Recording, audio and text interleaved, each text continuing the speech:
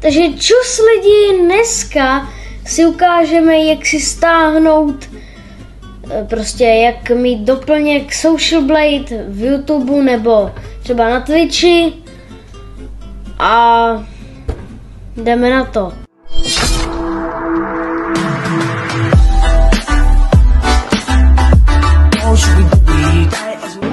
Když máte tohle okýnko, dáte tady, tyhle někdo, aplikace Google, kliknete na to, sjedete úplně dolů, tady je internetový obchod Chrome, na to kliknete, potom přejedete tady na hledat rozšíř, rozšíření a motivy.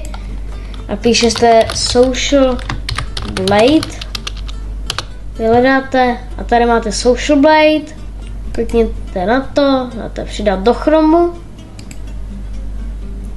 Tady se vás to zeptá možná v chromu, anebo na Opera GX, dáte přidat rozšíření.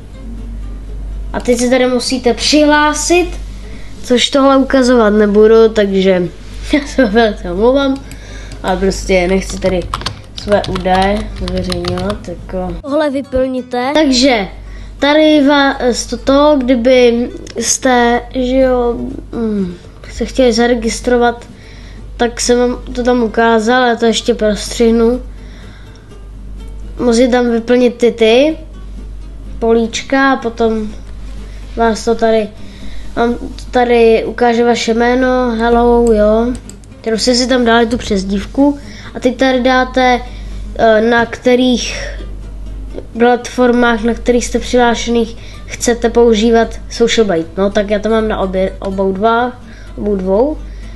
A tohle by bylo asi všechno. Já vám ještě ukážu, jak to třeba vypadá.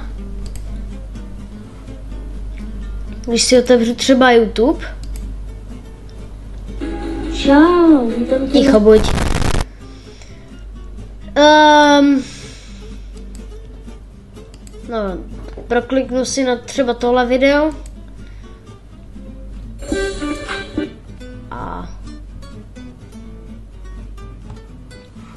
Je? A jo, tady.